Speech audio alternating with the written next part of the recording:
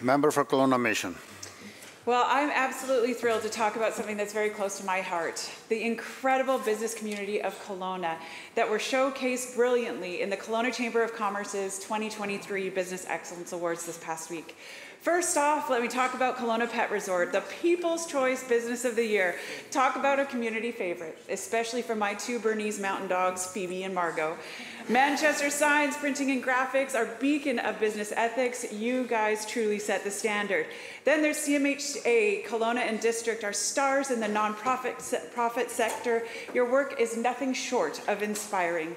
Arts, entertainment, and tourism, well, we're definitely leading the way here in Kelowna. A huge shout out to the Rotary Centre of the Arts and Splash BC Water Parks. Then there was Ashton Olson of eCruise Solutions Limited, our Young Entrepreneur of the Year. You are the future, and we're so proud of you.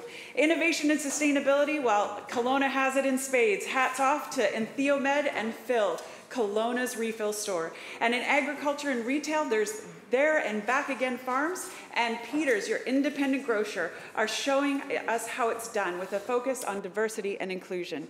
Our small and mid-sized business champs, Potentia HR and Secure Right Mobile Storage, they're the backbone of our economy.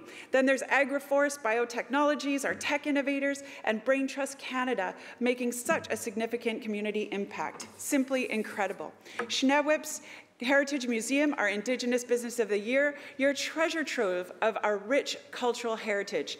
Anodyne Electronics Manufacturing, showing the world what Kelowna can do in high-tech manufacturing. And lastly, Sam Samadar, our Business Leader of the Year, a true leader and an inspiration to us all. These businesses are the heartbeat of Kelowna. They're not just driving our economic engine, they're shaping the soul of our community. Their commitment to innovation, sustainability, and social responsibility is something that we can all be incredibly proud of.